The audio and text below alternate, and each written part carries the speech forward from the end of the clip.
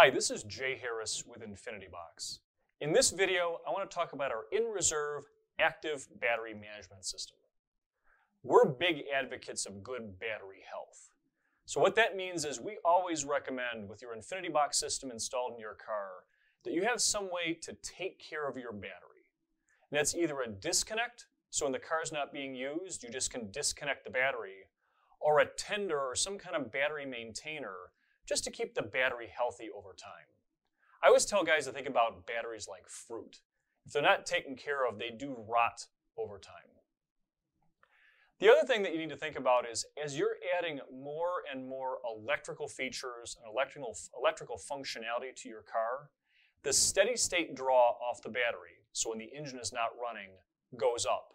And that means that that little bit of draw from the InfinityBox system or your EFI system or your, from your audio system, that's going to pull down that battery voltage over time. So again, that's why we always recommend a battery disconnect or some kind of battery maintainer to top the battery off when the car is sitting idle. Now, a battery maintainer isn't always practical, and not everybody remembers to use a battery disconnect. And that's why we developed our in-reserve active battery management system. The core of the in-reserve active battery management system is this special latching solenoid.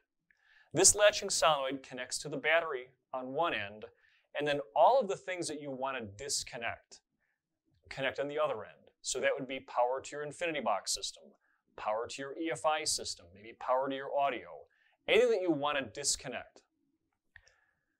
This special solenoid also connects to an output on one of your power cells.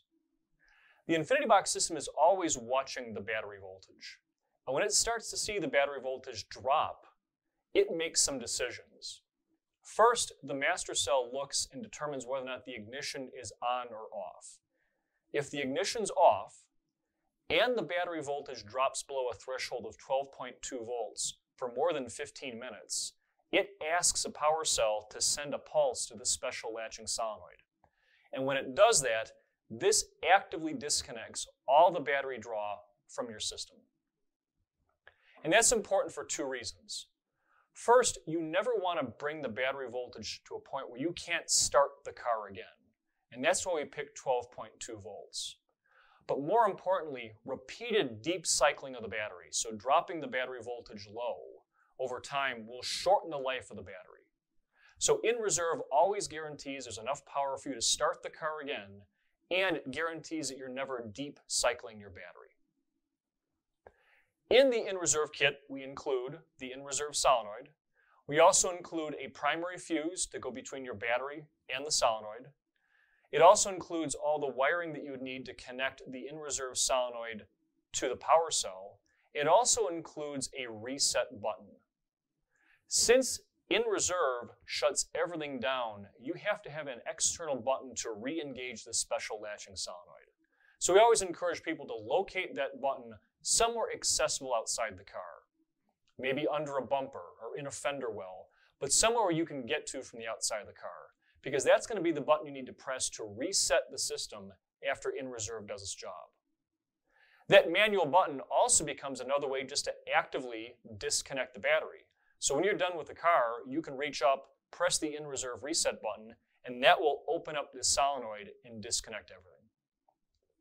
So this is just another good example of the accessories that you could add to your InfinityBox system to improve the functionality and the reliability of your electrical system.